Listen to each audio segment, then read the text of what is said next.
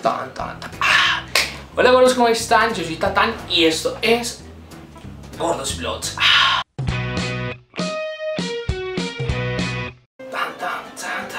Ah. El video de hoy vamos a estar hablando sobre los cambios. ¿Por qué sobre los cambios? Este fin de semana me estuve pasando de casa con mi familia y eso me hizo pensar en muchas cosas sobre el cambio.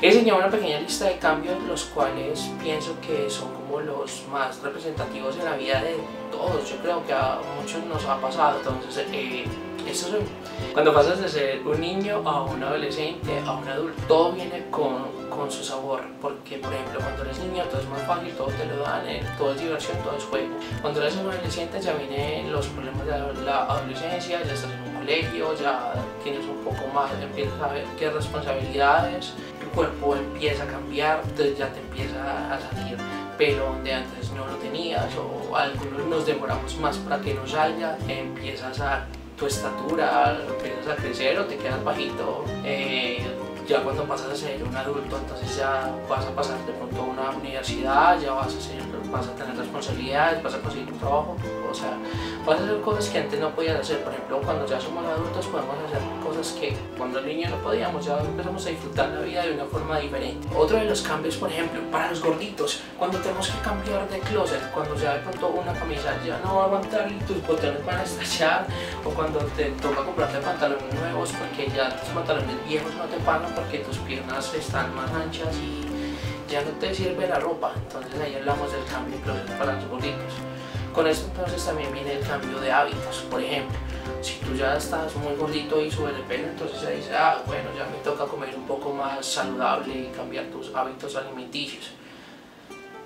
Otro de los cambios por los cuales pasamos todos, por ejemplo, ¿quién no ha tenido mil looks en su vida? ¿Quién no ha cortado su pelo? Es imposible uno hacer una fotografía que no cambie. Otro de los cambios que, por ejemplo, yo creería que sería el más importante para mucha gente y que sí lo deberían aplicar es el cambio de mentalidad.